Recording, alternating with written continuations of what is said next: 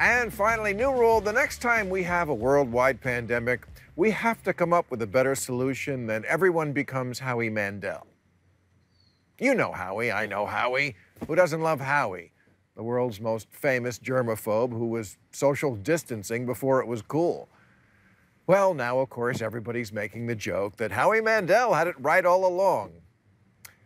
No, Howie would be the first to tell you he has a disease, OCD, that fucks up your life. He can't touch a doorknob or wear shoes with laces because they might touch the ground. When he excuses himself to go to the bathroom, it's to clean it. No wonder he says, it was always a curse. That behavior didn't allow me to date or go out with anybody when I was young or really even have friends.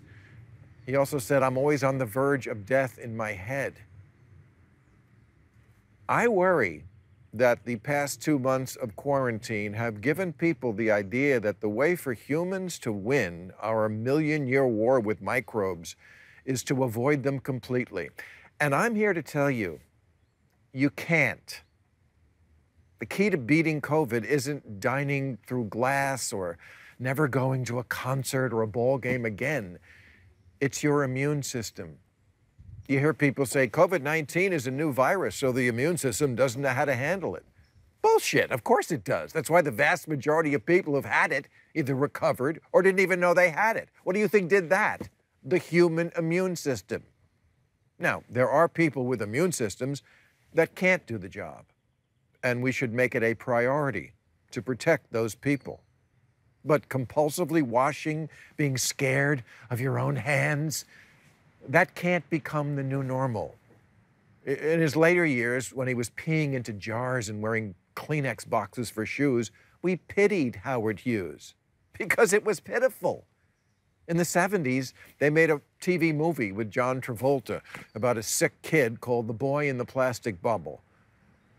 And let me tell you, if they start selling these things on Amazon, we're in trouble. I, I, see there's a hot new item for sale online disinfecting shoe mats because COVID can get on your feet. Yes, it can get everywhere. Microbes are ubiquitous.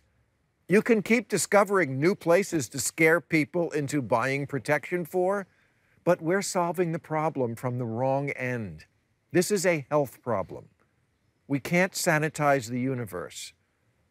Governors should declare keeping our bodies in good health an essential job, because that's the only way we are going to win this.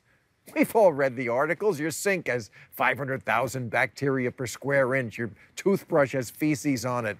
E. coli has been found in makeup, carpets, bedding, the remote, cutting boards. The average pillow has 350,000 bacteria colonies. They're filled with more shit than the guy selling them. Your phone has 10 times the bacteria of your toilet, which your dog drinks out of and then licks you. I, I could see right over there, right now, one of my dogs lying on the driveway like a dead fucking fly. The driveway where cars with God knows what on their tires pull in, and then that idiot rolls in it. And the other one I don't know where he is, which means he's into something worse. Sometimes I see a, a dead mouse in the driveway. I don't have a cat. Something here killed it. I'm not pointing fingers, but there's only the three of us.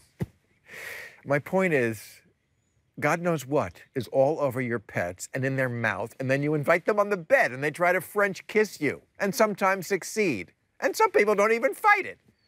But what's the point of a pet if you're not going to pet it? It's in the name.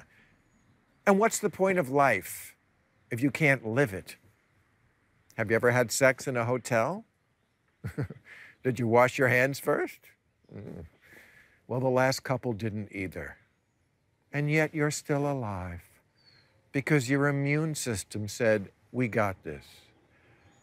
So this weekend, do something nice for your immune system. Go outside that mysterious land beyond your curtains where the Grubhub drivers live, and get some fresh air and vitamin D and break a sweat doing something besides eating hot chicken. Because at the end of the day, You can't keep all the pathogens out. It would be as silly as thinking you could stop immigration with a wall.